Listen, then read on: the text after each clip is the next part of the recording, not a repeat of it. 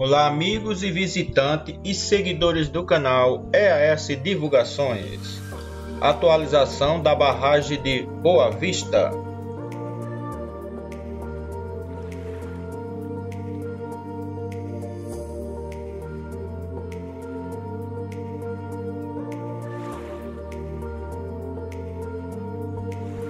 Faça uma visitinha também no canal da Tia Nosa e ajudando, se inscrevendo. Ela tem ótimas matérias sobre a transposição na Paraíba.